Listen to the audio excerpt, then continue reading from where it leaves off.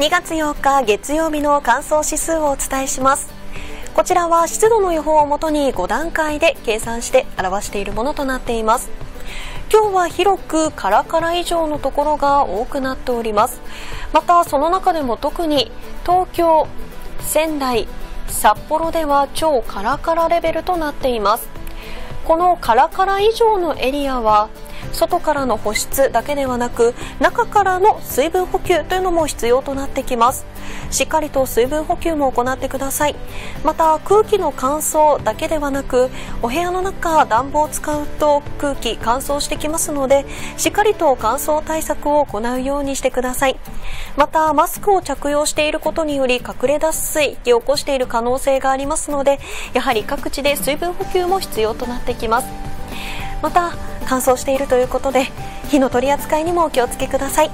以上乾燥指数をお伝えしました。